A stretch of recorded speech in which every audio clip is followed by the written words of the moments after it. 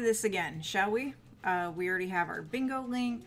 Um, the dog's are already excited for bits. Have some bits, dogs. And uh, it sounds like you guys can hear me, so let me put up the thing again, if it'll work. Oh, it's working! And let me turn on the audio.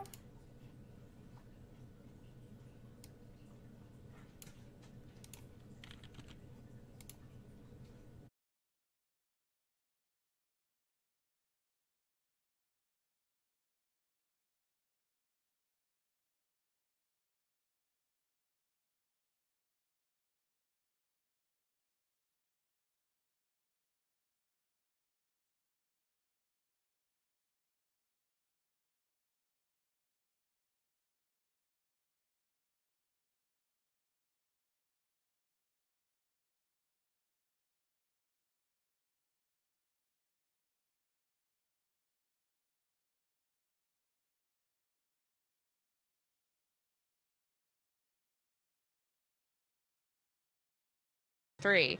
So it's just wonderful to be working with teams that all see the same priorities and that all know that our main mission here is to do our job safely.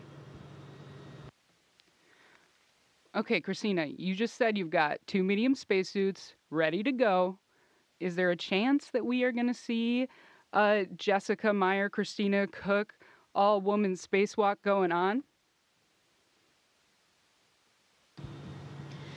Yeah, so right now we have five EVAs coming up, five spacewalks coming up to replace the batteries. So basically to upgrade to the new lithium ion batteries that will better serve the power supply aboard the space station. Since we have a series of five spacewalks coming up and we have we're doing that in a short proximity of time, as Christina mentioned, everybody up here is fully qualified to do a spacewalk. So I think that we can see any possible combination of personnel going out the door. We'll all be doing spacewalks and there'll probably be several different combinations combinations. We still don't know the final assignments for all of those, but yeah, there's a chance that we could be doing it together. Just any of the combinations are a possibility. Awesome. I am going to take that as a hopefully on my end. Um, okay, this is a genuinely like just curious space question that I couldn't not ask, and it's for both of you. Um, you know, you you dream about this and you picture these moments of being in space for years. I imagine. What's the one thing that was like the most different from your expectations? The diff- the thing that surprised you the most about being in space?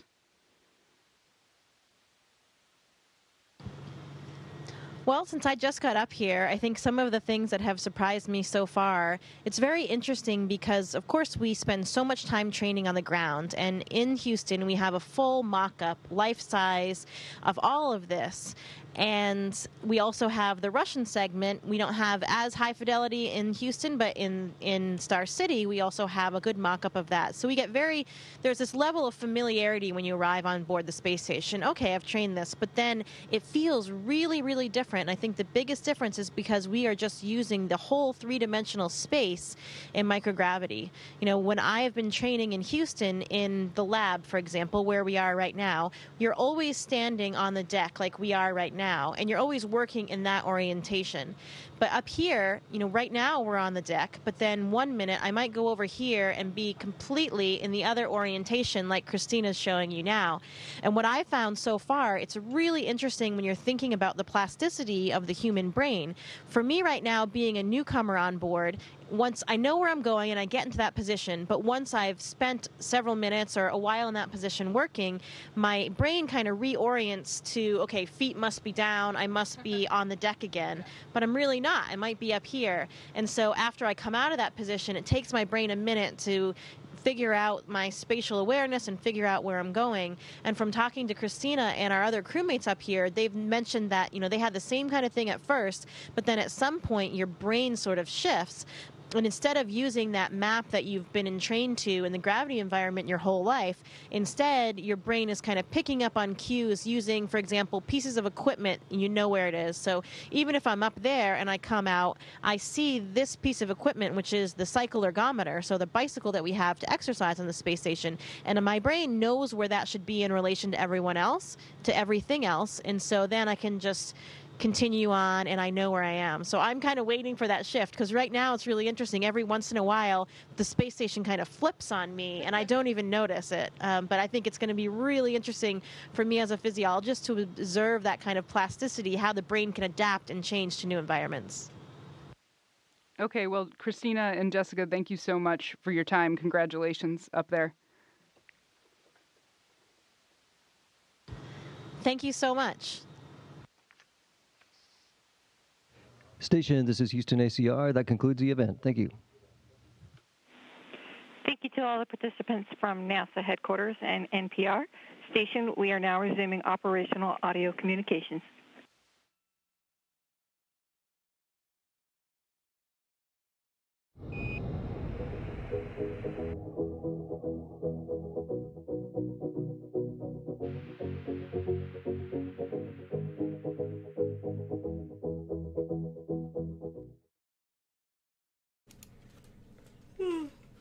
So, this bird is supposed to launch. Hi, I'm Lindsay Aitchison. I work on spacesuits. This is Ask NASA, and I'm here to answer your questions.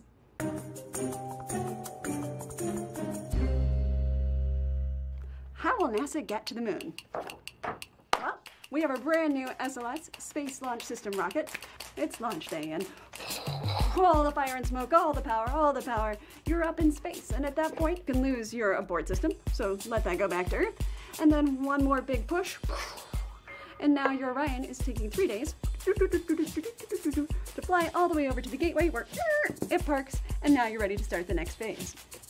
This is where you're going to start to unload the science equipment and pull out your spacesuits. And then it's time for the fun stuff. We're going down to the lunar surface. So once you put on your spacesuit, you're going to crawl into the ascent module, and that'll take you all the way down to the lunar surface. Once you're there, go outside and start doing science geology. You spend a couple of days. Once you're done doing all that, you climb back into your ascent module, take off, and return to the gateway. Once you get back to the gateway, you're going to unpack all of your science and everything you want to take home, put it into the Orion. Everybody truckles back into the Orion, and you start that three day journey back home.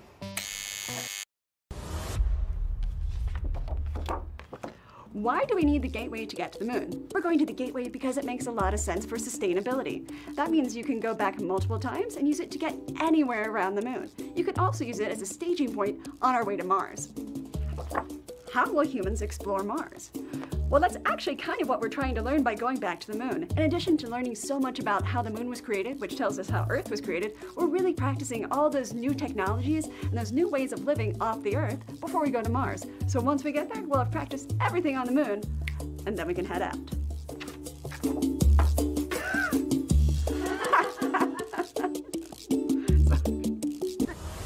So, what will the gateway Wi Fi password be? Hopefully, something easy to remember. Would you go to the moon? Absolutely. Do I get to choose who goes with me? Have you worn an astronaut glove? Oh, hey. Yes, I have. As part of a spacesuit engineer, we try on all of our own hardware. How does NASA throw a party? You plan it. If you could go anywhere in the solar system, where would you go? Ah, probably Mars. I mean, it's far enough to be interesting. First one there, but still close enough to home if you have a problem. What's the coolest thing about a spacesuit? The coolest thing about a spacesuit is that they're made to fit you exactly so that you can have all the mobility you need to both do your job and stay alive. Do you have a question for NASA? Send your questions to our experts on Twitter using hashtag AskNASA.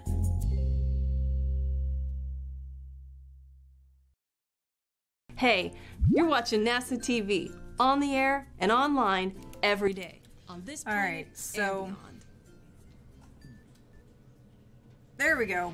Leading the way to study where Earth weather and space weather we come together.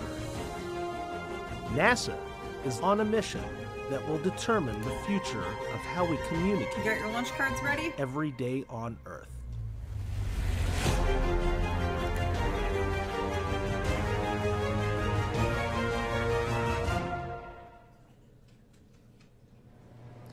Broadcasting live from NASA's Kennedy Space Center, you're watching launch coverage of the ICON satellite. Its mission? To study the meteorological frontier where Earth meets space. On your screen is the Pegasus XL rocket, which contains ICON. Approximately 15 minutes from now, this rocket will launch NASA's latest Earth science mission off the eastern coast of Florida into a very unique and unexplored area of space.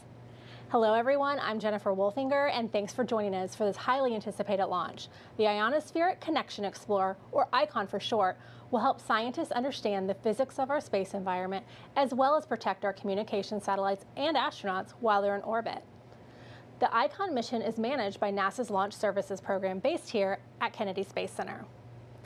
What separates ICON from traditional rocket launches is that the Northrop Grumman Pegasus XL rocket will launch from the bottom of a Stargazer L-1011 airplane instead of a stationary launch pad. The Stargazer took off from Cape Canaveral Air Force Station about 45 minutes ago. You can see it there on your screen with the Pegasus attached to its belly. This aircraft, the world's op only operational air launching system, is a mobile launch platform that can be deployed from anywhere in the world. The plane will release the rocket 50 miles off the coast of Florida at approximately 9.30 this evening. This is the first of today's two possible drop attempts. What you're seeing now is a bird's eye view of Stargazer's flight path. The path follows a long oval loop, also known as the racetrack. When the plane reaches a certain point on the path, the Stargazer will drop the Pegasus rocket.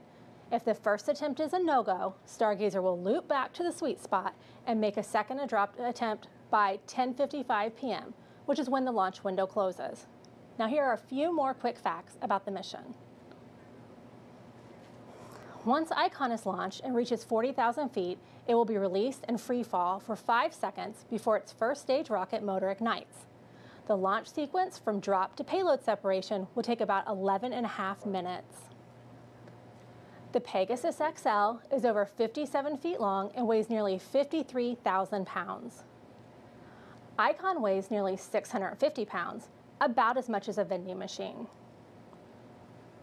When in orbit, the satellite will travel at more than 4 miles per second. That's almost 30 times faster than a commercial airliner. ICON will study changes in the ionosphere where Earth's weather meets space weather. The satellite solar array is over 8 feet long and 2 feet wide, a little bigger than a common door. ICON will study the ionosphere for two years to provide a better understanding of this complex region of space. We are approximately 12 minutes from launch, so let's head over to the Mission Director Center where NASA's Joshua Santora and Malcolm Boston will give us a deeper look at this unique launch. Welcome, guys. Hey, thanks, Jennifer. Good evening to you and good evening to everyone out there watching us. Uh, we're coming live to you from Hangar AE at the Cape Canaveral Air Force Station on the east coast of Florida. And tonight, it's Pegasus Launch Control. That's right, Josh. Malcolm Boston here with NASA's Launch Services Program, ready to rock. Can you give us a little update on kind of how the countdown has gone tonight? Uh, very smoothly. Uh, we, we worked a couple of uh, adjustments, but uh, no real issues, and we're ready to go. Want to be clear, what you're seeing actually there, that's the nose of the Pegasus. So that's a camera mounted to the bottom of the L1011. So you're seeing the front edge of that. Obviously, it's nighttime here on the East Coast, um, so that's what's going on the big story yesterday was the weather. Today it is not nearly as big of a story. So uh, we have a few things we're, we're keeping an eye on. Um, their precipitation has been one of the biggest ones. We can't be flying through rain. Uh, we have a 20% chance of violating those constraints. Um, so we're keeping an eye on that, but we'll take a look at the radar. Uh, yesterday, this radar was filled with lots and lots of dark greens and reds and yellows, and there it's very splotchy, which is what we want to see. On the right hand of your screen there in the middle, you can see that red rectangle, or part of that red rectangle. That's the box that we call it. Uh, the plane is headed for that box. Um, this is a space out over the Atlantic Ocean, about 40,000 feet in altitude, 20, 10 miles wide and 40 miles long, and the plane has to be inside that box in order to drop the Pegasus. We'll talk more about the process in just a few minutes. Um, but once it's there, it has to be traveling, the plane needs to be traveling at the right direction, uh, speed, and in that space, and then it can launch the, the Pegasus. Um, Malcolm, can you tell us a little bit about the rocket tonight? Uh, tell us about the Pegasus.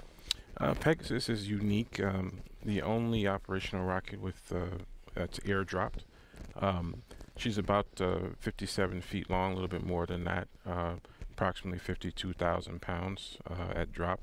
Uh, and this will be the 44th time she's been used to, to launch something in the Space Force. Yeah, we also had up on screen a minute ago, we had a, an image that had waypoints listed. Um. We call this the racetrack. Um, if you kind of see this it kind of looks like a racetrack pattern. This is where the plane is actually flying. This is the path that it's flying. You can see there's a, a circle moving towards the PIP section, and that's the actual, the, the small one to the left of that is what's moving. That's the airplane. Uh, Mhm. we're actually going to take a look now at a video of this past year. So for the past 11 months, um, we heard from our pre-launch broadcast a couple days ago that there were some major issues, not major issues, but just issues. Uh, we, we attempted to launch almost 11 months ago. Malcolm, uh, what are we seeing happen here um, over the course of the past 11 months? Uh, well, this is footage of Icon being uh, pre-launch checked. Um, at this moment, they're uh, buttoning up for to fit inside the payload fairing. Um, but over the past 11 months, we've also had uh, some other activity going on. One is uh, troubleshooting and resolving the issue that scrubbed us out 11 months ago. And the uh, second team has been working on just caretaking of the rocket in itself and, and the spacecraft. Yeah, we had to fly it out to California. That's the facility where they can actually take the thing apart and really do what needs to be done. Um, so this is them actually repacking the the Pegasus on the L1011 to fly it back out here to the East Coast. It arrived a couple weeks ago, so everybody is so anxious for this launch. Um, such a high level of confidence of everybody's done their homework, they've done their research, they've worked the the challenges, they've they've all come to this place where they're comfortable and they're confident moving forward. Um, we are actually tuning in. So I want to point out right now that our clock is a little bit off of what was anticipated. And part of that has to do with that we have a mobile launch platform. Um, so we're a few seconds behind where we thought we would be. So currently our clock says we're, we're looking at launch um, a little bit closer to uh, 931. Um, so we're kind of just feeling that out as we go. And that's largely dictated by the pilot's position. Um, so ultimately, the clock is dictated by where he is because he has to be inside that box. Um, so in just a minute, we're going to be listening listening in. We're going to have a couple polls coming up. Um, but Malcolm, really quickly, can you tell us about the teams that are involved, the four teams involved tonight? Uh, yeah, as you said, we have four teams. One is the uh, air crew, uh, two pilots, a flight engineer, and at least two launch panel operators. Uh, the second team is the Northrop Grumman engineering team uh, monitoring Pegasus itself. Uh, and then we have the combined LSP spacecraft icon teams that are monitoring the entire uh, launch operation. And our last team is our uh, range safety uh, provided to us per, uh, by our colleagues at the 45th Wing. Yeah, the range ultimately responsible for public safety. So they're looking at things like making sure there aren't boats in the area where our plane is flying. Um, in this case, we don't have as much of a land concern because we're not launching from the land, so it's mostly out over the water and in the air. Um, we are going to go ahead and listen in now. We should have Omar Baez, NASA launch manager, pulling his team. This is DNLM on the NLM net for final launch readiness poll. NASA CE. NASA CE is go. SMA. SMA is go. SMD. SMD is go. NASA mission manager. NASA mission manager is go. LSP. LSP is go. Copy. Teams ready to proceed.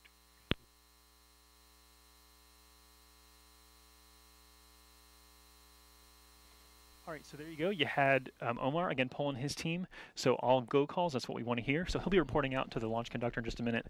Um, we're going to actually jump into uh, a video of the last time we launched a Pegasus rocket. Um, so this is the Cygnus mission. Um, I think you said you actually got to work this mission. Can you tell us what, what we're seeing here? So right now we're seeing captive carrier. The pilot's heading for the drop box. Uh, very shortly we'll see uh, the Pegasus uh, release from Stargazer, free fall for approximately five seconds, and then ignite the first stage engine. Uh, Pegasus is a three solid rocket motor, three stage vehicle. Uh, each stage will burn for approximately uh, 60 seconds. So there you go, that drop. Again, tonight we won't get to see this in that way because it's dark outside. So we we hope to have something for you to be able to see. But again, it's it's it's the nature of launching in the middle of the night. And that's okay. Um, again, we're headed towards that box, and like I mentioned, that clock is jumping around a little bit on us. That's okay. We're just rolling with the punches here. We're just under six minutes now, according to the official clock that we're looking at. Um, and so, coming up in just a minute, we'll hear Adam Lewis, the launch conductor for Northrop Grumman. He's going to be polling all of the teams to make sure everybody's in in a, in a good position. I, again, our pilot headed for this box. Um, this uh, this fictitious line drawn out over the Atlantic Ocean, uh, 40,000 feet in the air, 10 miles wide, 40 miles long. And so, as the pilot approaches there, um, he uh, he will be able to ultimately make that make that call. And we'll talk about kind of his role. Um, he's got a pretty pretty fun role, and in, in, uh, in my opinion, it's a, it's, it's a fun role for tonight. Um, but let's go ahead. We're going to actually listen in now. Again, this will be Adam Lewis. You hear oh, on screen. You see the current location, so you can see that red dashed rectangle there to the right. Uh, that's where we're traveling towards in PLCH for uh, our launch waypoint. Um, so again, let's listen in to Adam Lewis. Copy L minus 5, check 174. At this time, I want to poll for final launch countdown. Rock, Rock, clear to launch. Peg, LC, Peg. The entire Pegasus engineering team and my son Jackson, who turned 10 years old today, are go. NGLD, NGLD is go. NLM. NLM and NASA are go. We are go to proceed with final countdown at L minus 4. All right, so good to hear that all four teams and Jackson are all ready to go. Um, so we're, we're excited for everybody to be on board tonight. Uh, we want to take a closer look behind the scenes here at this facility. There you see on your screen, this is Hangar AE. Uh, some call it the telemetry center of the universe. Certainly for rocket launching in America, it is. Uh, take a look at this. The liftoff is the most exciting part of watching a rocket launch. But what you don't see is the dizzying amount of data sent between the rocket and engineers inside this renovated Air Force Base hangar. The amount of data that comes through this building is astounding. Chuck Dovale is Deputy Program Manager of NASA's Launch Services Program, which sends scientific and planetary missions into space. He says here at AE, launch managers can monitor every aspect of the rocket and spacecraft's health, so to speak. Hundreds of thousands of measurements, called telemetry, are displayed on computers in real time. But it hasn't always been so high tech. 20 years ago, machines scribbled rocket telemetry on paper. Lots of paper. This record would get to be this, this thick, and it'd be my job as a co-op student to go upstairs and roll that record out. Hundreds of feet long. Yep. Today, rocket telemetry is far more visual and complex. There are close to 40 voice communication channels connecting launch teams from around the world, and they can view 16 or more high definition camera views coming from the launch pad, several drones in the air, and even on board the rocket itself. And don't forget about the data. Telemetry is now stored on servers for future reference, and it's so voluminous, playing every launch going back to the early 90s would take close to 32 years. As the chief of telemetry and communications at Hangar AE, Reed DeVerdes Group processes and distributes the data to the launch teams. And he says Hangar AE can now handle launching five different rockets at the same time, thanks to a multi million dollar upgrade. All right, so a really neat look at the facility that we're, we're being hosted in. Um, I wanted to get back to the pilot tonight. Malcolm, can you talk about his role in this whole thing? Well, the pilot's busy. Um, he's he's not only transporting uh, Pegasus and Icon uh, to the drop box, but he's also responsible for uh, Stargazer and his crew on board. Uh, and so he's he's going to be monitoring everything right down to the last second, right down to release, uh, and actually making the final decision on when exactly to drop Pegasus. Uh, so he's a very busy man and monitoring a lot of data. So we mentioned that our clock is moving a little bit based on the, the position of the plane, but also the pilot, if I understand correctly, he ultimately, like you say, he has to choose the right moment when he knows that things are safe for his crew.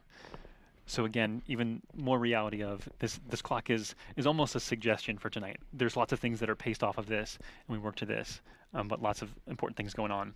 Um, we're going to keep an eye on this camera you've got on your screen. We should be seeing a, a fin sweep here any second. Um, just being able to see a little bit of motion, ensuring that everything's functioning correctly mechanically for the before this launch.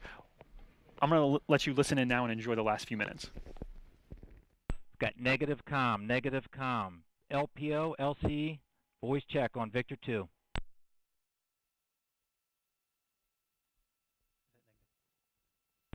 And LPO, LC on 133 decimal 8.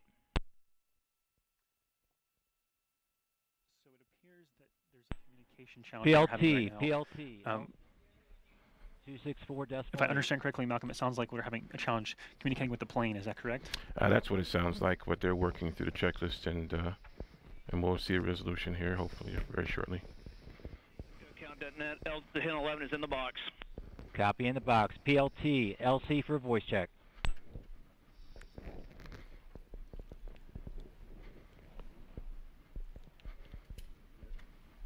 And launch team, launch team, we're going to abort, abort, proceed to the abort checklist. Okay, so uh, we just heard an abort called. Um, so I'm sure that the teams are going to take a minute and evaluate what's going on here. Um, we're going to just stand by. We're going to try and gather some data really quickly before we speak too soon. Um, I know that there is the potential that we could travel a, a, racetrack pattern to kind of recycle and attempt a second drop tonight. Um, I don't know if that's going to happen or not. We're going to, again, get back to you in just a minute.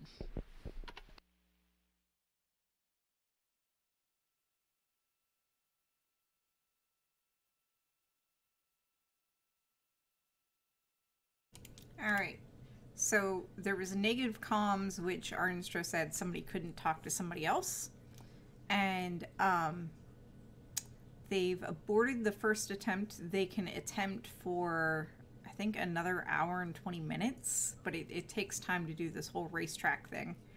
So we'll see.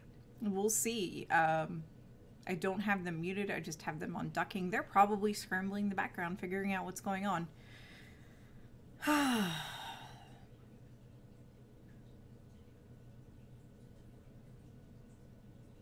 if this is an abort, I don't think this is the first time that there's been an abort in flight for Icon.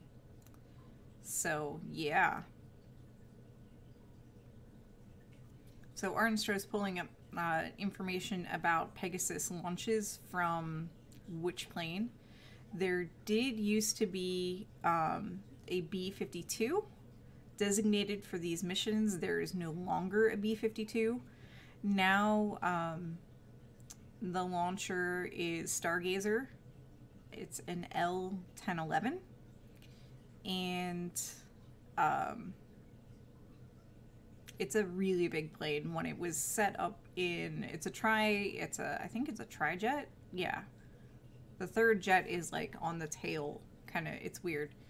Um, but when this was when this plane was set up in commercial configuration, it could hold like three to four hundred passengers. It was a huge. It's a huge jet, and there's only a handful of them that are still flight worthy, and this just happens to be one of them. It just happens to be a mobile launcher. Not required. LT.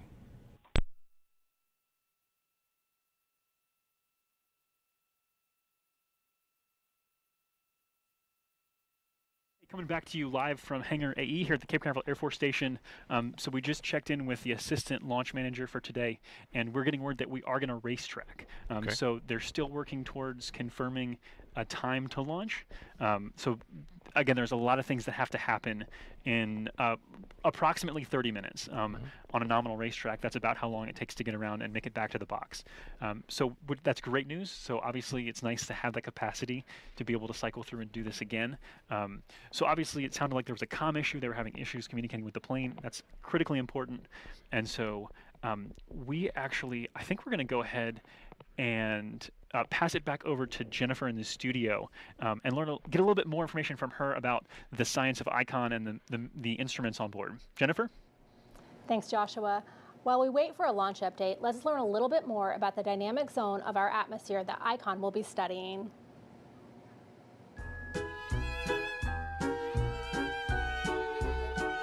Longing for more space, open skies, and exotic travel?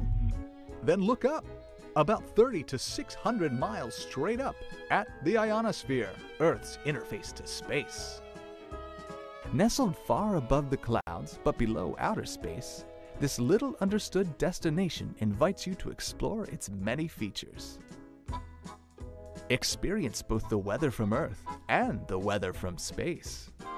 Marvel at the ballet of radio waves and navigation signals, like GPS, leaping through this particle paradise. Sit back, relax, and take in the aurora, some satellites, and the International Space Station as they sail by. And you'll want your camera handy for one of the region's signature features bright and colorful air glow. This daily show is made possible by the ionosphere's own swirling charged particles, because that's what the ionosphere is. It's all charged particles. During the day, enjoy the sea of particles, freshly energized by the sun. As the sun sets, this particle party relaxes and the air glow thins. Our quieter nightlife lets you gaze into clearer skies. The ionosphere is in constant motion, an amazing effect of space weather. Don't miss when solar storms rain down. The storm separates the particles even more, making this colorful region delightfully more dense in some places and stunningly sparse in others.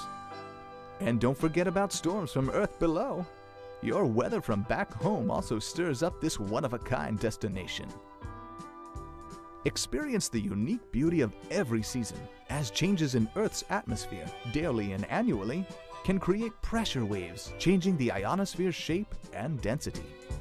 Venture to the equator, where our particles are packed in lush and thick. Cruise along a magnetic field line and see how the ionosphere's charged material also interacts with Earth's own magnetic field. Don't miss the superhighway of particles zipping out to space and back down to the planet. This unpredictable parade of charged particles can help you unplug and unwind. This is because the crowd of particles can garble the radio and satellite communications from home. The ionosphere welcomes you to discover more about this little known region. After all, once you've explored this interface to space, who knows how much farther you'll be able to go.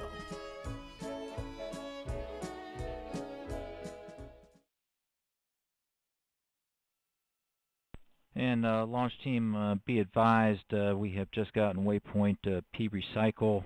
Uh, again, we lost COM in the last couple minutes. We've switched our uh, frequency COM to the L11 to 133.80, and we're going to stick on that uh, for the remainder of the operation. Uh, at this time, I would like to poll for concurrence uh, for recommended action, recycle. Rock? Rock concurs. NGLD? NGLD concurs.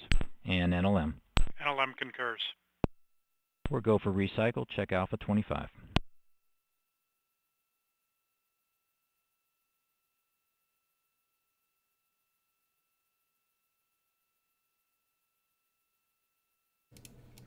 So it sounds like they're going to recycle, which is good.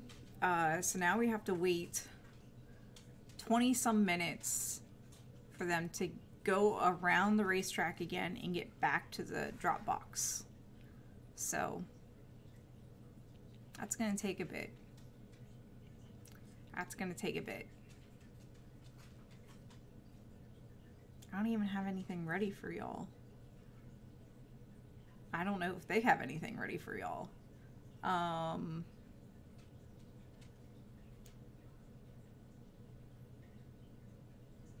Open Cage says maybe they had the idea that launching from a plane and is somewhere. verified power status.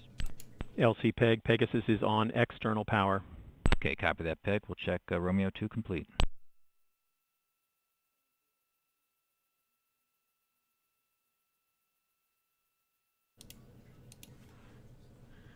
I mean, As you heard, we are go for another launch attempt and are waiting for a new T0. We'll provide an update shortly. NASA's Ed Chris Giersch caught up with an ICON principal investigator, Thomas Immel, to find out why it's important to study the ionosphere. So, Tom, why do we want to study the ionosphere? well, that's a good question. So, the ionosphere is the densest plasma in space between us and the sun. And that plasma has a number of effects on uh, systems that we use every day.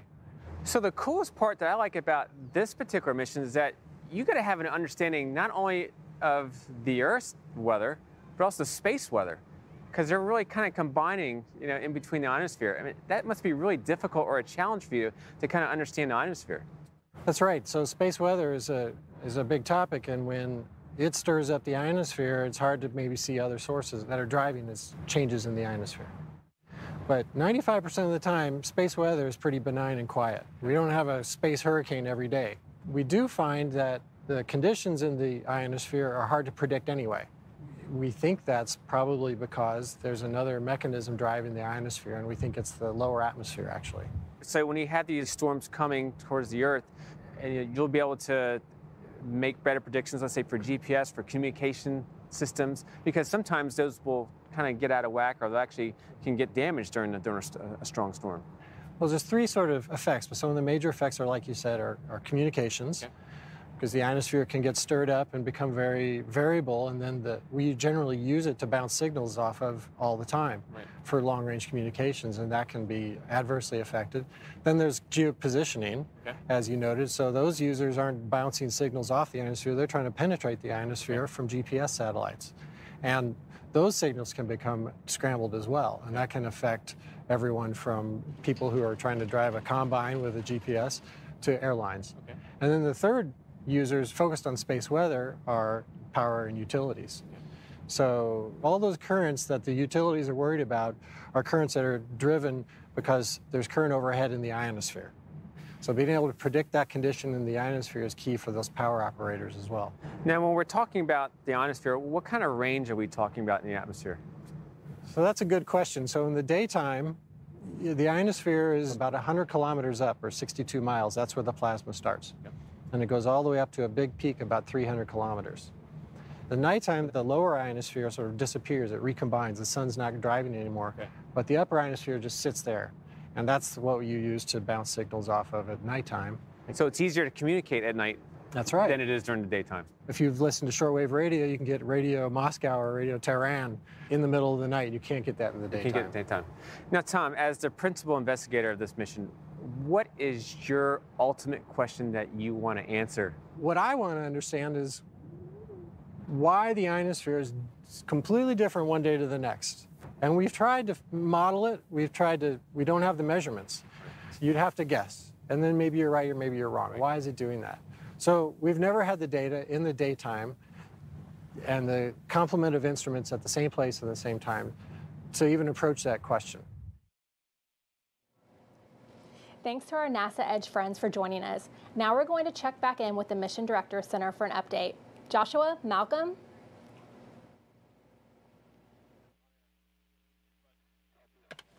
Sorry, we're uh, we are recycling through the racetrack, so we're moving towards another launch attempt. We're getting word that that should be at approximately 10 p.m. Eastern time. So we're hearing a lot of great chatter among the teams. You mentioned those four teams earlier this evening, working together really well to be able to get back to the point when we can give this another shot tonight.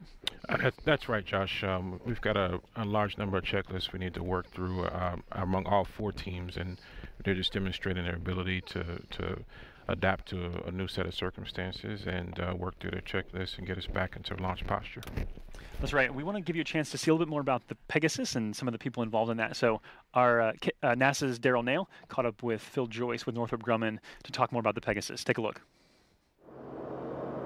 Thank you, and hi everyone. We're here at the skid strip at the Cape Canaveral Air Force Station in Florida, and I'm joined by Phil Joyce, Vice President of Space Launch with Northrop Grumman. Behind us is the Stargazer and the Icon spacecraft.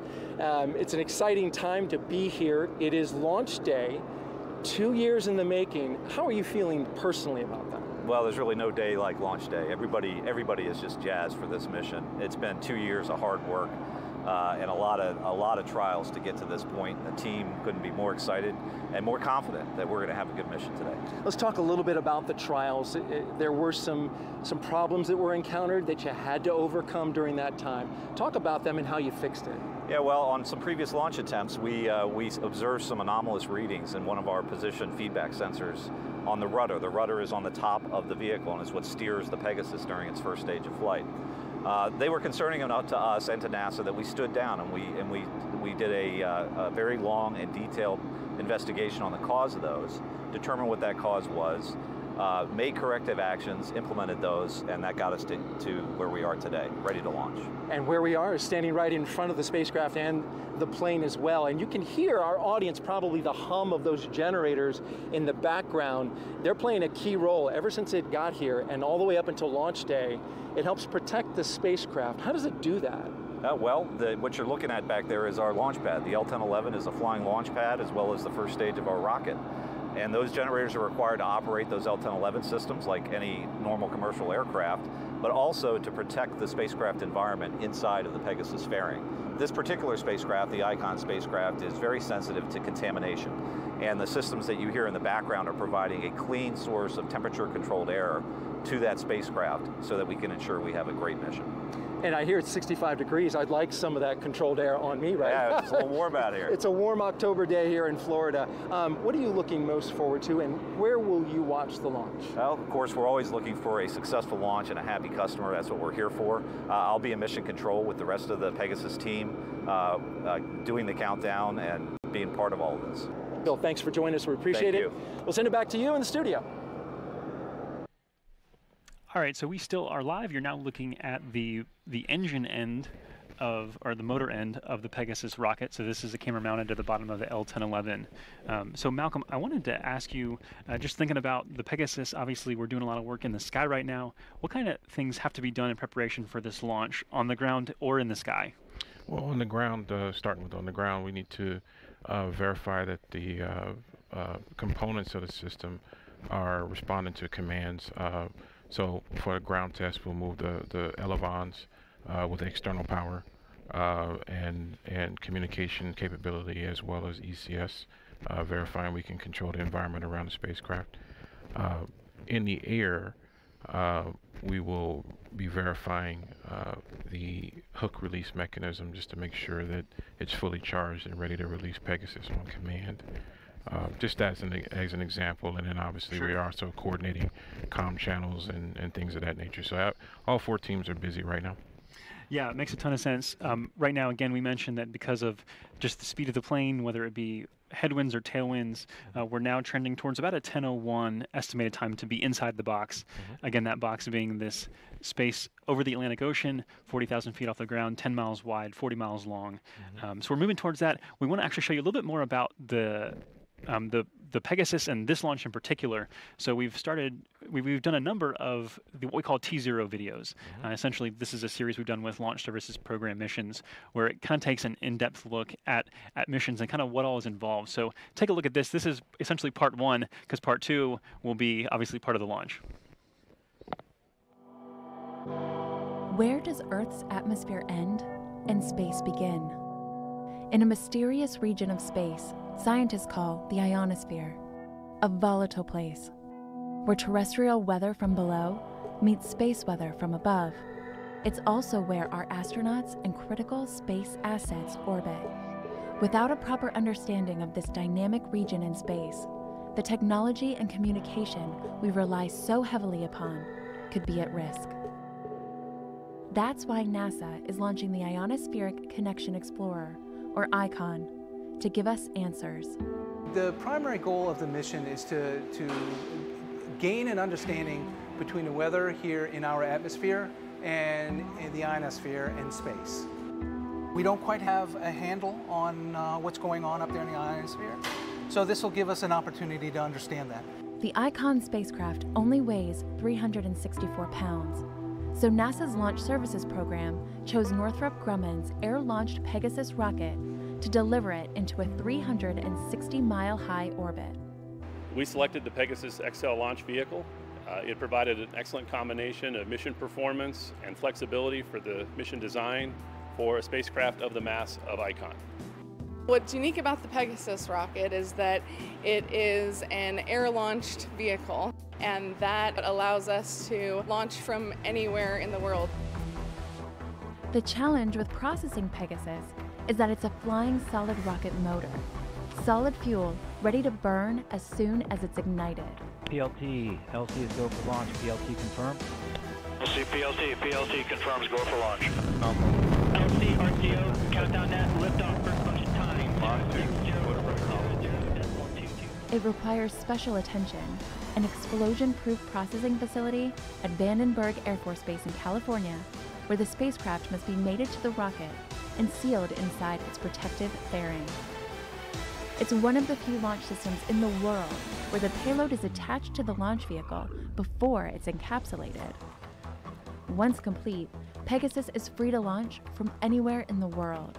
Once we've established that we're ready, we then transport our entire launch team and hardware to another part of the world so that we can insert ourselves into the proper trajectory. But to get there, Pegasus still needs to be strapped to the belly of the L1011 Stargazer. Strapping 55,000 pounds of solid rocket fuel to the bottom of an airplane is tricky, but these rocket scientists and engineers are up to the task. Once Icon and Pegasus are locked and loaded, then it's up to the pilots to fly the Stargazer into its drop zone.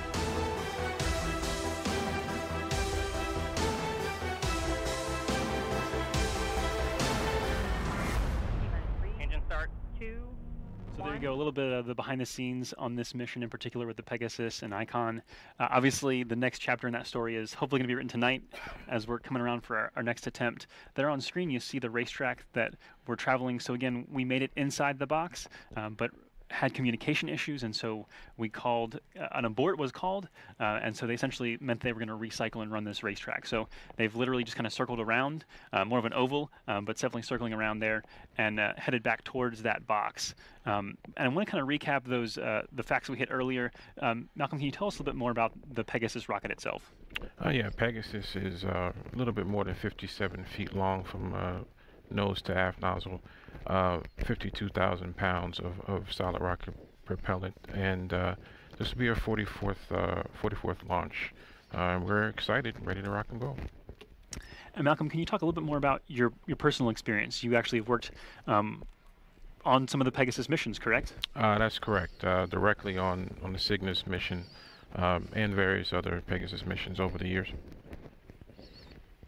Very cool. So uh, we're hearing lots of good chatter. There, there's essentially after the point when they were able to reset the clock, uh, it looks like we are targeting um, right around 10 o'clock or so for Mm-hmm. our uh, expected time to be inside that box to drop. Um, so they're cycling through all of those same processes they did before. Again, it's a choreographed effort. Mhm. It's it's something that everybody kind of knows, and literally they, they, they called out turn to this page. Um, So Mhm. everybody's on literally the same page, Mhm. proceeding through the launch countdown. And so we're going to come back up here in about 30 seconds on Omar Baez's uh, NASA poll. So NASA launch manager Omar Baez, he's going to pull his team. Um, we heard some good chatter from his team talking about uh, making sure that their batteries are in good shape, everything's in good order. So let's listen in in just a second, and we'll uh, we'll hear Omar's poll of his team.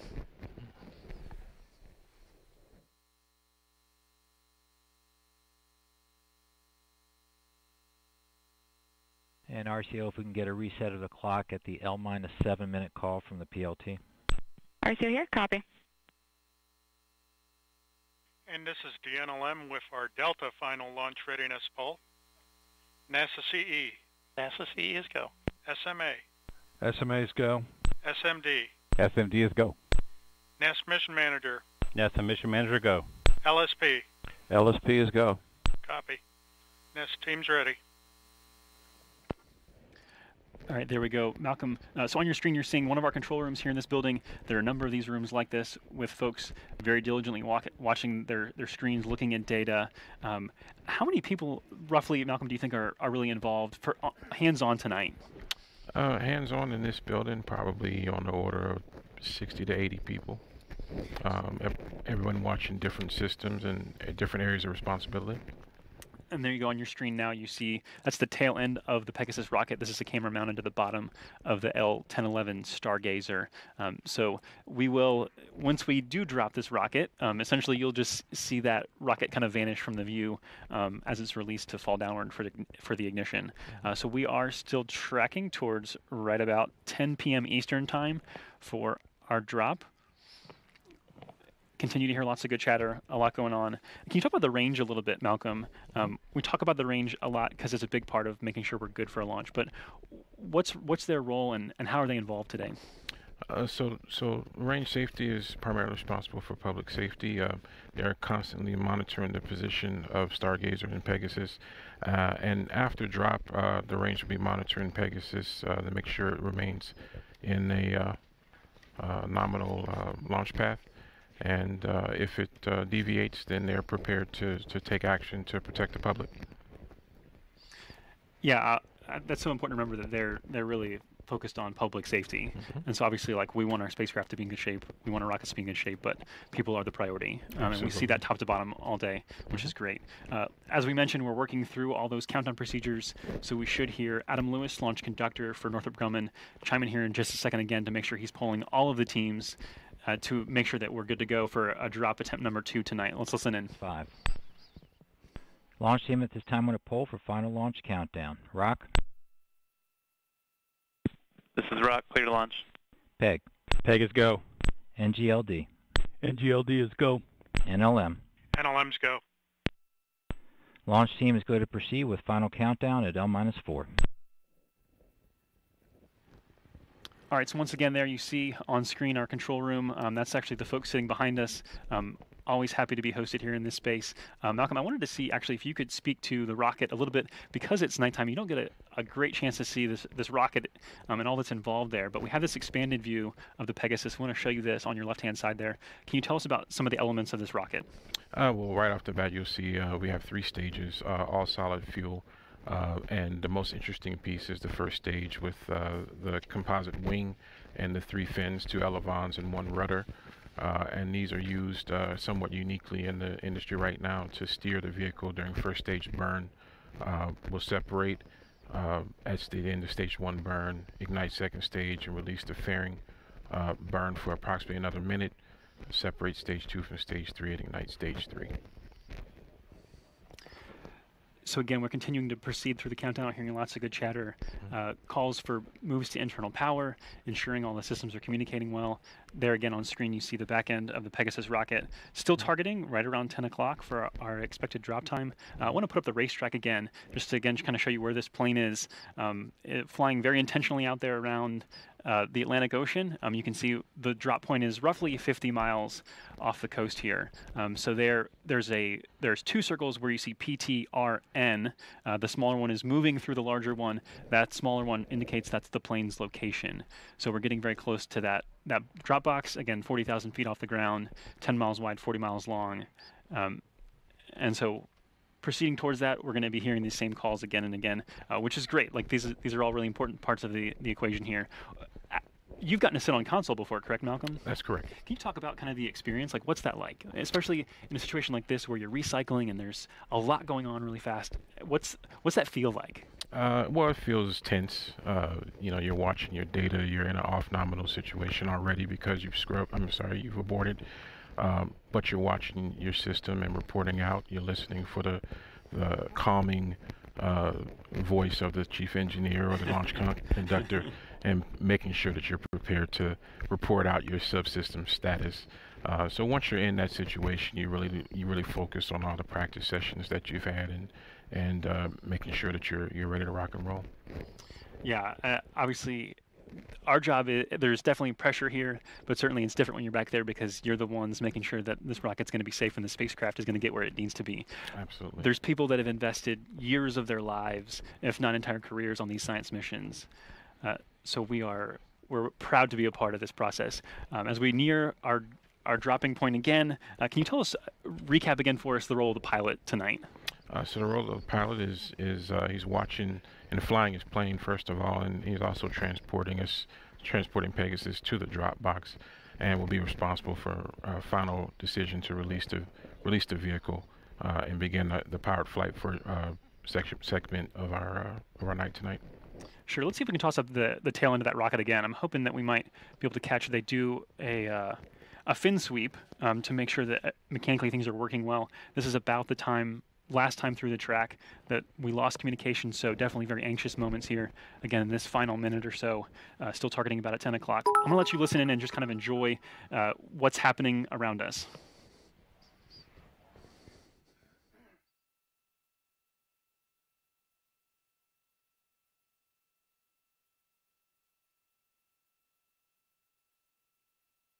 LC Peg, go for fin pin retract. LPO, go for fin pin retract and fin sweep.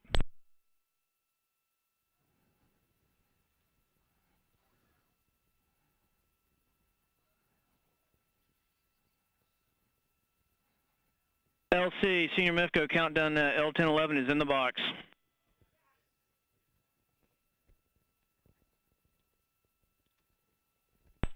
Heading and ground speed are green. LC Peg, Peg is go for launch. LC is go for launch, PLT confirm.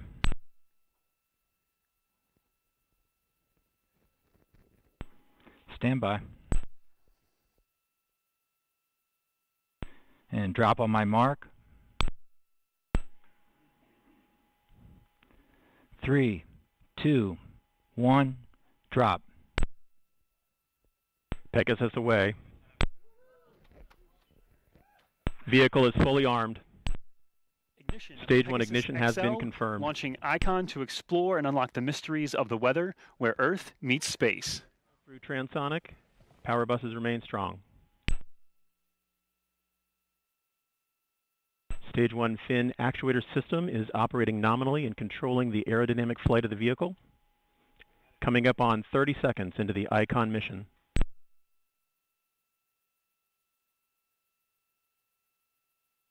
Vehicle has passed through max Q. Attitude remains nominal.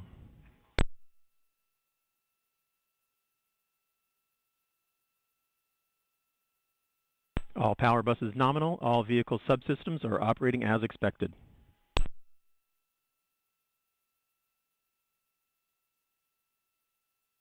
Stage 1 burnout in approximately 20 seconds.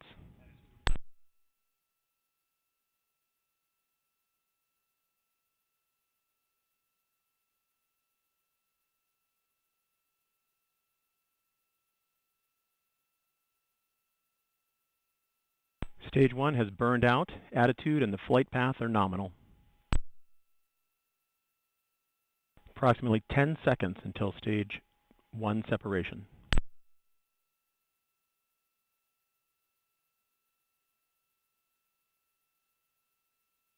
Stage 1 separation confirmed. Stage 2 ignition has been confirmed and attitude is nominal. Stage 2 TVC is operating as expected to control the flight of the vehicle. Approximately 20 seconds until fairing jettison.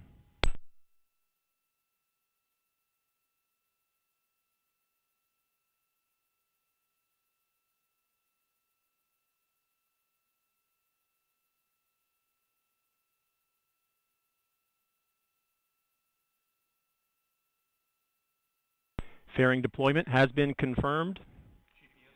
Both halves have been separated. Vehicle attitude remains nominal after fairing separation.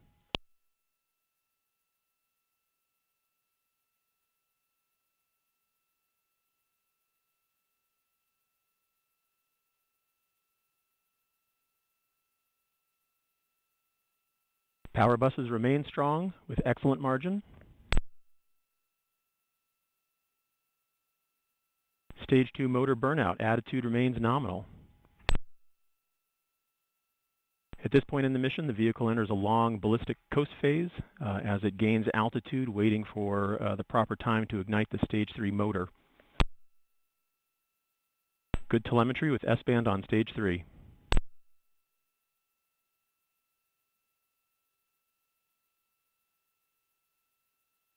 We've got report from GNC that uh, vehicle performance to this point is excellent. Uh, the vehicle flight computer is currently recalculating the uh, proper time for stage 3 ignition.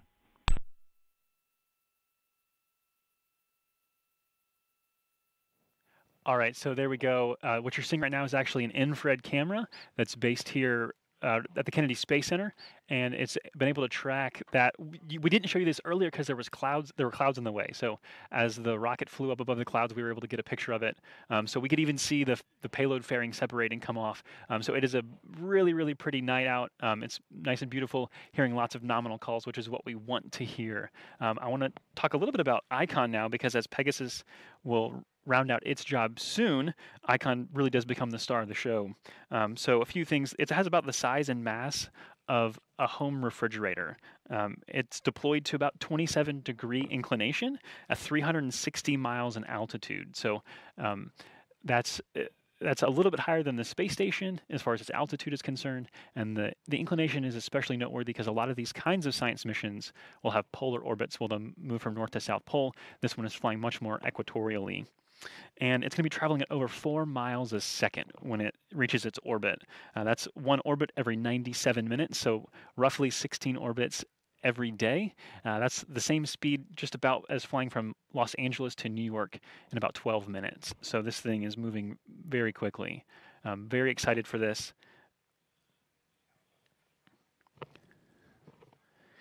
Continuing to hear those calls for nominal action, which is what we want to hear.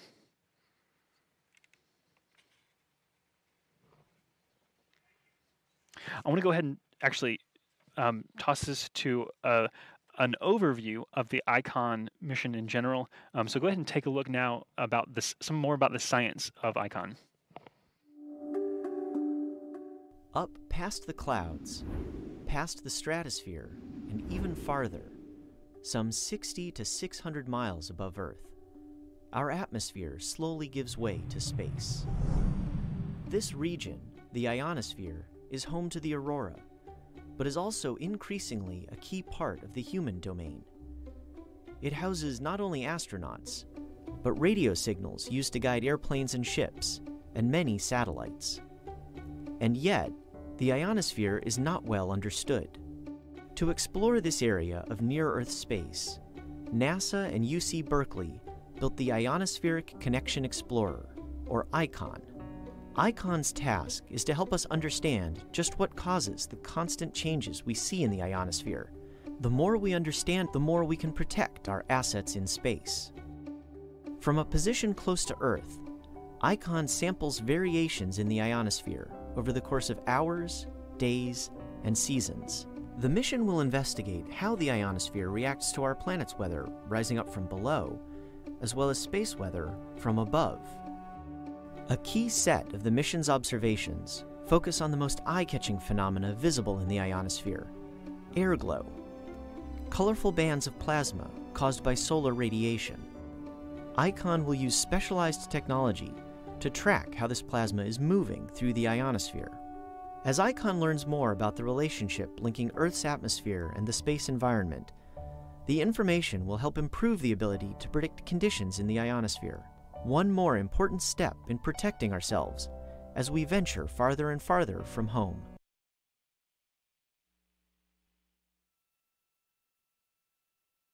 The uh, reorientation maneuver uh, for stage 3 ignition has been complete and the attitude of the vehicle is nominal. Stage 3 TVC is online. Stage 2 has been separated.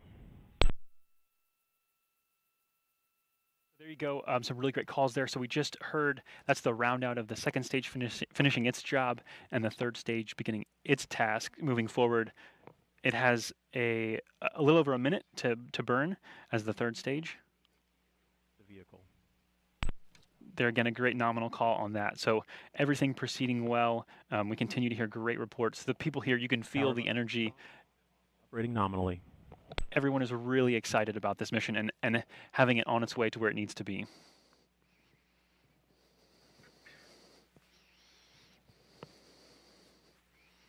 Vehicle attitude remains nominal. What you're seeing on screen is an animation with some data there on the right-hand side, kind of just tracking where this where this thing is right now on its way to its orbit.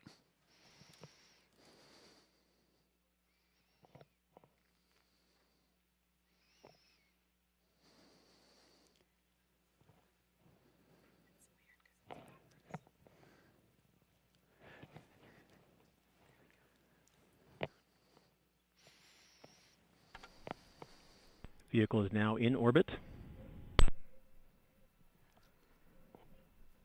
All right, a We phenomenal have call there. Stage Uh, 3 burnout confirmation. Attitude remains nominal. Looks to be an on-target orbit for ICON. Awesome. Um, I'm joined now by Allison Powers, um, Pegasus business manager for Northrop Grumman. How does that feel to hear that call of we're in orbit?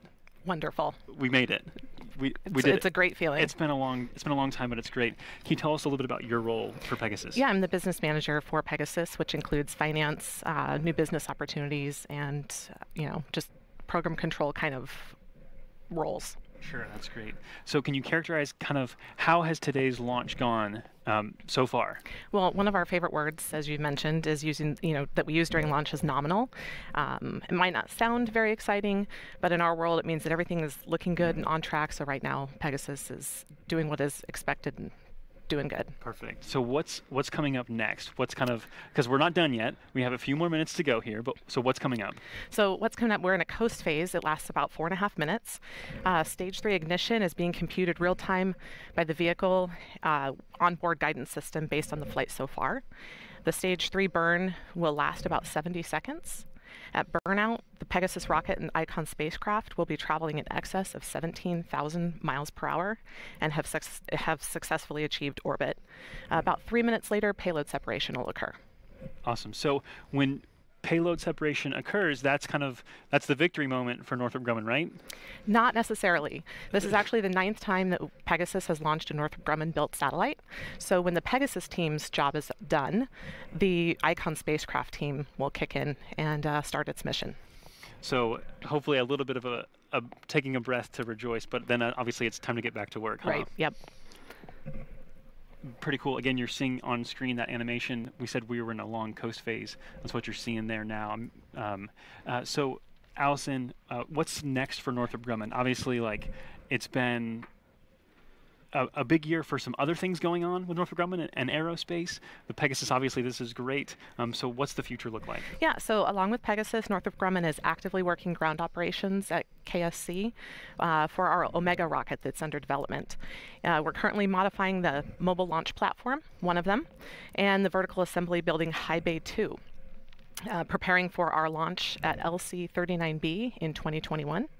And cool fact, we're actually the first commercial company to utilize the uh, historic vehicle assembly building. Yeah, we're excited uh, for all of our commercial partners, and Northrop Grumman definitely fits into that constellation for us. Uh, we're excited to have them there. Um, obviously, Northrop Grumman is uh, clearly they know what they're doing. Uh, we're here. We're on our way to orbit. Um, we got a great spacecraft to work on. So, um, Allison, excited for you guys. Excited for what's coming with Omega. Um, and excited to see just the future of what you guys are doing. Brand new rockets are always fun. Thanks. We're always excited to support uh, NASA's critical space missions. Allison, congratulations to you and the entire team. Um, I'll let you go now and go celebrate a little bit. Okay. Um, once we get that spacecraft deployed successfully, solar arrays are out. Um, so thanks and congrats again. Thank you, Josh.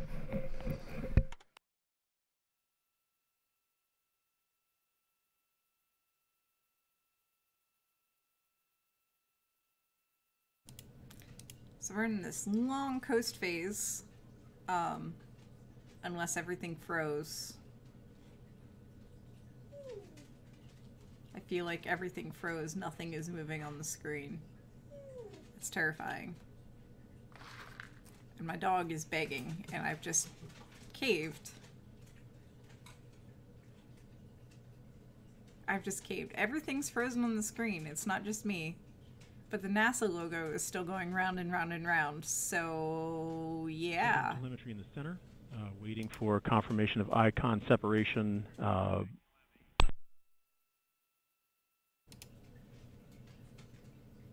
waiting confirmation of icon separation. So I'm now joined uh, by Steve Krein, Vice President of Civil and Commercial Satellites for Northrop Grumman. Steve, how you feeling? Oh, feeling great. So far, so good. Um, everything, uh, to, to use Allison's terminology, is nominal. So we're excited about that. And we're getting very close to uh, separation of the uh, what we call the observatory, which is the space vehicle built by Northrop Grumman, and the four instrument suite. So uh, it's interesting at, at launch. Um, you know, the observatory. Uh, there's a lot of inhibits uh, that are actually enabled. We have inhib- inhibits on the um, all the instruments are off.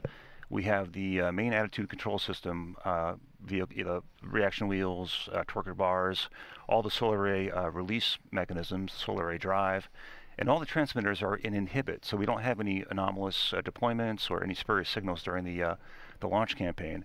But at separation, then an autonomous sequence uh, begins, and the transmitters actually start uh, about 10 seconds after separation. We'll actually uh, communicate with the TDRS network and start giving us telemetry. So we're looking forward to that. It's about to happen, and cross your fingers. All's nominal. yeah, it, it, it is kind of that. It feels like a cross your fingers moment, but ultimately, like you guys are really experienced. You know what you're doing. So, um, yeah, I'm sure. I'm sure again with the the last year and kind of the work that's been done, you guys have a high level of confidence that things are gonna things will turn on like they should. Yeah, exactly, and that's a very good point. Um, you know that we had a longer delay than we would have liked before the launch, but we did go through a very um, I'll say very controlled, very disciplined uh, recertification process. It's called comprehensive performance testing, where we exercise all the elements on the spacecraft and then did a full solar array deployment just to make sure that there'd be no issues when we came to this critical moment, which we're about to uh, about to come upon. So again, a very high level of confidence, and all is nominal. Awesome. And so, will you play an active role going forward in the science? As far as Northrop Grumman's concerned? Well, certainly we'll be involved. Uh, we have a team right now out at the Univers- University of California, Berkeley, at the Mission Control Center to help with the initial certification. Um, you know, following the uh, the release, uh, you know, as I mentioned, the transmitter will begin uh, being enabled, uh, the reaction wheels then, and the torque bars will be enabled, and the, the spacecraft will stabilize. And then about a minute after um, uh, release and, and separation, the solar array will begin to deploy, and it's a five-panel array. So it's uh, you know it takes a little bit of time. We're going to make sure it's disciplined and controlled in its deployment. Sure. So it's it's about a nine minute and 10 second deployment. But once that's out and rigidized uh, and we acquire the sun, really the excitement for the day is over. And then we go into about a week long process of just going through uh, what I'll call the spacecraft bus certification to make sure everything's nominal. Uh, that everything's working as expected, and we, we fully anticipate that to be the case. And once that's done, then we'll uh, we'll start a, a three-week period where the instruments are turned on in a sequential fashion. We uh, verify that everything's nominal. And then finally, at about a month after separation, we start what's called science mode. And really that's, you know, the long-awaited period where we get the really high, uh, high-value data back uh, from the instrument and begin about a two, two uh, year um, process of, of really just uh, collecting data and distributing to the science community to get the maximum utility for uh, NASA, the science community, and, and for the nation. Yeah, Steve. Obviously, there's uh, so appreciative of the technical work that you all do. Sure. Again, congratulations on what's happened so far. Again, we have a few minutes left, um, but I'm going to let you get out of here and go kind of watch this thing kind of unfurl itself and uh, just enjoy it with your team. Thanks, Josh. It's a, it's a great moment, and uh, look forward to mission success. Thank Thanks, you very Steve. much. Yep.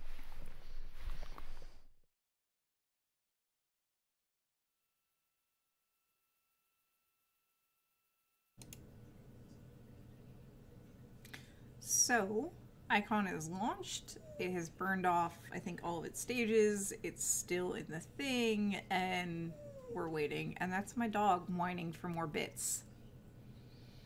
She wants bits.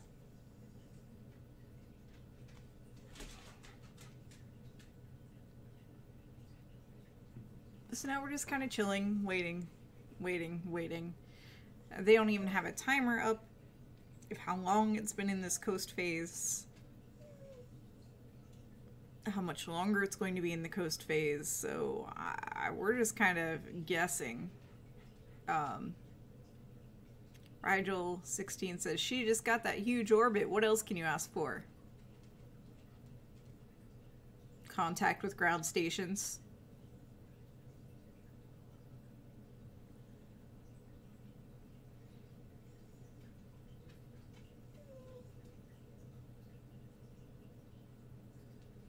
Yep, hashtag follows are free. Uh, I guess I should use this time to uh, state that, hey, Tinkerbell, I state that um, we are pretty much funded by your donations and your bits and su- your subscriptions, so thank you for that. Um, and your pledges on Patreon too. Uh, those go towards paying myself and Susie a living wage. Susie is sending her eldest to um, to an engineering school. So the money she makes working for CosmoQuest helps with that, and um, yeah, getting paid to do this is pretty cool. So thank you all for making this happen. Even though my dog is being a brat and crying because I have created a monster. All right, so we are listening closely for updates here as we proceed towards the solar array deployment. Um, we're going to actually let you see a little bit more about the science and air glow. The night sky is never truly dark. If you removed light pollution, the moon, stars, and galaxies, there would still be a very faint, colourful glow. That's air glow. With cameras, you can photograph it only on the darkest of nights. It's about one tenth as bright as the combined light of all the stars. From above, it forms a luminous bubble encapsulating Earth. Appearing right at the interface to space, airglow holds clues to how our atmosphere affects weather in space, and how space weather affects humans on Earth. The bands of light span from 50 to 400 miles above Earth's surface. In the uppermost boundary of the atmosphere is the ionosphere. This is where our GPS signals and astronauts travel. What makes this region complicated is that it's constantly changing. It reacts to both energy emanating from the sun and weather near Earth's surface. And as the ionosphere fluctuates, so can conditions in near Earth space where the space station lies. But spotting changes in the ionosphere is a lot like trying to watch the wind. You need a marker of some kind to see the invisible particles move past. And for that, we have airglow. These colourful lights reflect changes in the ionosphere, and this is due to the way it's formed. Our atmosphere consists mainly of nitrogen and oxygen, and small traces of other molecules.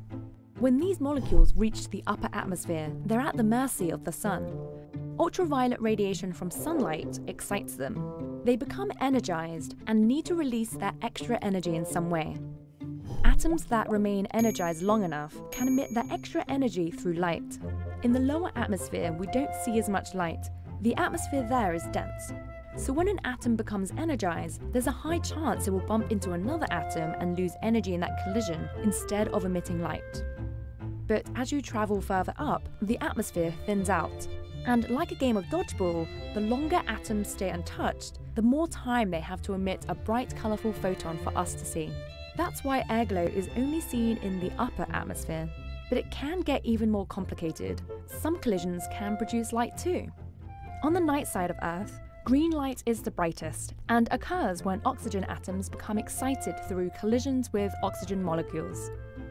A variety of other complex reactions create red and blue light, as well as UV and infrared light that are invisible to the human eye. Each type of airglow contains information about the composition, temperature, and density of the upper atmosphere, all of which are key factors that can change dramatically and rapidly. So airglow turns out to be a fantastic proxy, illustrating not only how particles move through the ionosphere, but what kinds of particles even exist there, which is key information for helping us tease out how space and Earth's weather interconnect. And that's a great reason for NASA to study this beautiful phenomenon.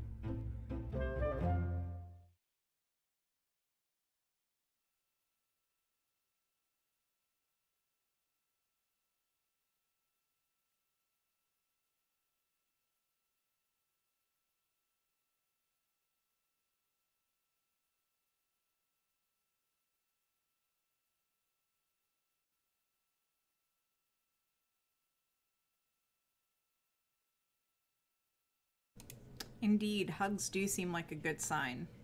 We don't have any updates, but hugs seem like a good sign. Oh, hush, Tink.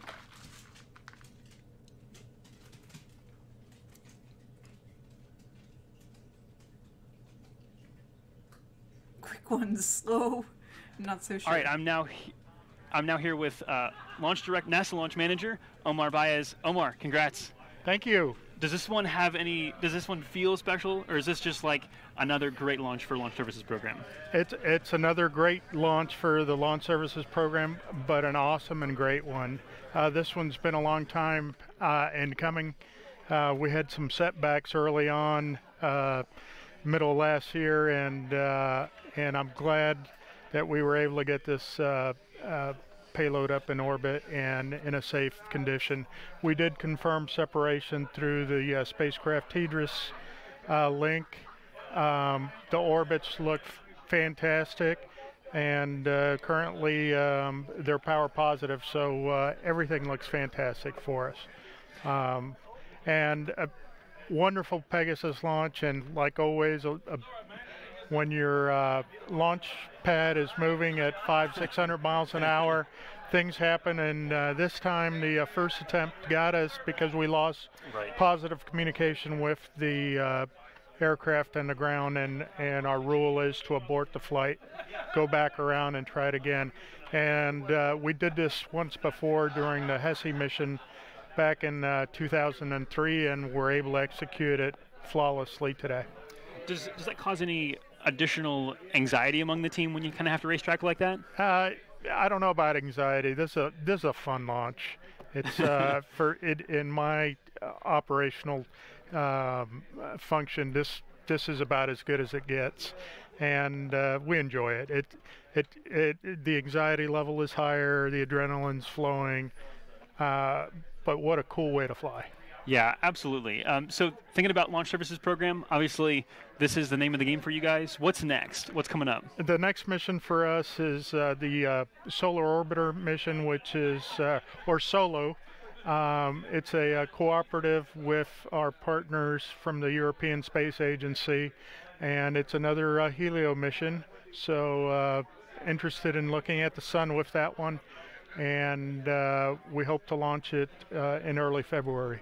Awesome. Will you be the launch manager for that one? That will be Tim Dunn. Okay. And your and, next mission is? And I will be working Mars 2020 this summer. Which is also super high profile. Obviously, we'll get there when we get there. Yep. We've got uh, Solo to go first. Yep. Um, but again, a big congratulations to you, Omar, to the entire team. Um, thanks for joining me. Appreciate you. Also, big thanks to Malcolm Boston for joining me, uh, riding shotgun as my co-commentator. Um, so for tonight, from Hangar AE, that's going to be all. Jennifer, back over to you. Thanks, Joshua, and thank you for joining us.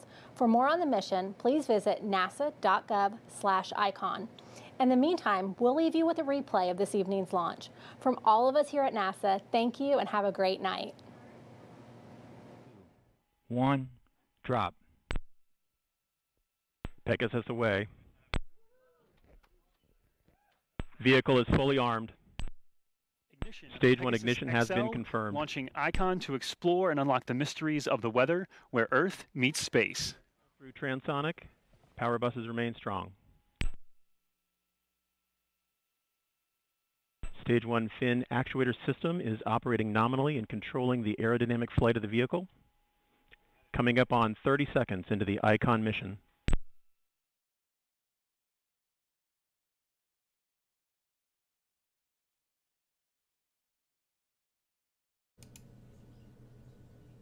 And there we go. We, we, by we I mean Northrop Grumman, launched a rocket from a plane that launched a satellite. It's kind of wild. It's kind of wild. Uh, so yeah, if you've missed this, this will be archived on YouTube. And I think for a second Tinker was sitting, so we'll just throw a handful of Cheerios her way. Um, make it rain! So, this has been a production of PSI, that's Planetary Science Institute, working in collaboration with Youngstown State University here in Youngstown. It's dark outside. I don't know what the weather's like. Ohio. Uh, PSI is a 501c3 nonprofit corporation, which is just fancy speak for your tax. Your donations are tax deductible where laws allow. More bits! More bits from Federal. All right. I know, Tinker. Make it rain. You don't need to bark, Tinker. Um. So yeah, thank you for everything, guys. Thanks for tuning in. Thanks for your bits, your donations, your pledges. More bits. More bits. Um. Make it rain. I'm. I think I'm out of. I think I'm out of Cheerios. I have more Cheerios. Don't panic. Don't panic. Um but yeah, all of you guys make this possible, so thank you, everybody. And if you can't afford to donate, do Patreon, whatever, that's that's fine. Follows are free. Uh, subscribing to us on uh, YouTube is free. I think we have a Facebook and a Twitter. I'm not in charge of the Facebook or the Twitter, so I don't know. Um, we have a Discord. That's free. It's free to hang out and chat with us. So yeah, yeah. But we are definitely here because of you. I am able to continue doing this because of you. So, uh, yeah, I think I think that's all. I think I I think that's all. Oh yes, congratulations to Ner for winning uh, launch bingo. And uh, Fenmill says those puppers look starved. I must feed them. They are lying to you. Journey started. All right, so here's the rest of the uh, the Cheerios. And uh, because it's even 100 bits, oh gosh, I hope I get a good one. I'm gonna do a Jelly Belly. Oh, I hope I get a good one. My stomach's upset about that last one. Oh, I'll just grab any. Ah! Oh. The dogs are going to eat one. Uh, so where, Fenmill says, so where are we at on the Favorite Human and Kyle stream? So I have that up and we are 18.28% of the way there. So, let's see. I'm not sure what this is going to be. It's not very clear. Oh. Mm, mm-mm. Mm-mm. Mm-mm. I don't know what it was. Mm, mm, mm, mm. Mm. Ah. It's still in my mouth. All right. Oh. Oh. Ugh. I need to remember to have like a can of water nearby when I do this. All right. They are rigged starch face. They really are. Oh my gosh. No, I think I'm worse than. Am I 50%? Yeah, I'm 50% on beans tonight. I know this is going to make Dr. Pamela squirm, but grasshoppers help. It's the only thing I have handy. Oh, champagne jelly beans. I guess I could open those up. Mm. Oof, oof. Okay. Oof. All right, those are dangerous. Anyways, so I don't have anything else for you tonight. Um, housekeeping stuff. There is no uh, simulcast of Astronomy Cast tomorrow. Uh, they did. They recorded a double episode last week, so find Astronomy Cast on YouTube and watch it there if you you missed it. And um, no daily space tomorrow. And Sunday, I will be back with Sunday Science. And um, if you're into Bennu mapping, there's a form up on Discord right now where you can actually help me plan for the celebration stream because I don't, I obviously don't know what to do. When is the next launch? Asked Journey started. Oof, that's a good question. So I use Rocket Launch Live. And next launch is on the 14th. So that's Monday. Let me pull up UTC. The next launch is October 14th at 2300 hours UTC. It is an Electron launch. The mission is As the Crow Flies. And the next launch after that is a Chinese launch on October 17th. And as usual, there's not going to be live video for the Chinese launch. So because the Electron launch is at a decent hour, for me that's 7 p.m., I'll start streaming an hour earlier. So it's 6 p.m. on a Monday. That's perfect. I will be streaming the uh, Rocket Lab launch not going to try to stream the Chinese launch. It just never happens. And there's nothing until early April with solid launch dates. So that is all I have for you. I know later this month Astra Space is supposed to launch something from their super secret launch pad in Alaska, but I'm not I don't think that's going to happen this month. Um, yeah, so I will see you all on Monday. Thanks again for tuning in. I'm going to find the credits somewhere and awkwardly roll them as you do. As you do. And yeah, so thanks again, everybody. Raid Rocket Sage? Sure, we can arrange that. We can make that happen. Um, Rocket Sage. Yeah, we'll raid Rocket Sage. Looks like she's watching something about Mudflow. All right, so we'll roll the roll the credits, and we're gonna raid Rocket Sage, and I will see you all on Sunday. So until then, have a wonderful insert time of day here, and uh, be awesome. Okay, credits. You can roll anytime now. Credits. Why aren't the credit? There we go. All right. Bye, everybody.